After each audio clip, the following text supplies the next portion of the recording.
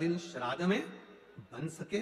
आप अगर किसी को भोजन करा सके, ठीक है, ना करा सके, ठीक है कुछ नहीं बने तो थोड़ा कुछ नहीं कर सकते तो क्या करना है? आइए जानते हैं इस वीडियो में। अगर इस चैनल पर पहली बार आए हैं तो प्लीज़ चैनल को सब्सक्राइब करके वीडियो को लाइक कीजिए और ज़्यादा से ज़्यादा लोगों के पास शेयर कीजिए, क्योंकि श्राद्ध का महीना चल रहा है और ज़्यादा से ज़्यादा लोगों को ये उपाय करना बहुत ही ज़रूरी है। देखिए, किसी की अवधोगति में मृत्यु हो गई है या फिर किसी कारणवश उनके पितृदोष लगा हुआ है तो उपाय को अगर करते हैं तो उनकी सभी मनोकामनाएँ पूर्ण होती हैं। इस उपाय को करने के लिए हमें दूब घास की ज़रूरत होती है। जी हाँ दोस्तों, ये कथा जो कि दूसरे दिन की कथा है, पूज्य पंडित प्रदीप जी मिश्रा ने इस कथा को, यानी कि जो कथा भी हाल फ़िलहाल में चल रही है, श्री देव शिव महापुराण कथा। जैसे कि आप वीडियो में देख रहे हैं, इस वीडियो के माध्यम से आप देख सकते हैं कि कैसे दुर्वा को लेना है, यानी कि एक मुट्ठी घास लेनी है जो कि दुर्वा, यानी कि दूब घास को आपको लेना है और लेने के बाद जब आप ढेर सारी दूब घास ले लेते हैं, मान लीजिए कि आप कोई भी कार्य नहीं कर पा रहे हैं ना पानी दे पा रहे हैं, ना कुछ कर पा रहे हैं, पितृ आपके खुश नहीं है, नाराज़ हैं आपसे तो आपको सिर्फ़ यही उपाय करना है, अधोगति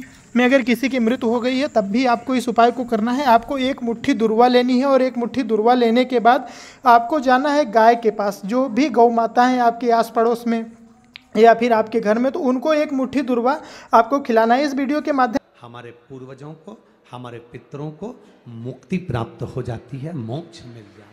वीडियो के माध्यम से मैं बताने का समझाने का प्रयास कर रहा हूँ। जैसे कि अगर आप समझ गए हो तो प्लीज़ वीडियो को लाइक कीजिए कमेंट में हर हर महादेव लिखें और गाय की रक्षा करें। श्री शिवाय नमस्तुभ्यम। हर हर महादेव। मिलते हैं अगले वीडियो में नए वीडियो के साथ।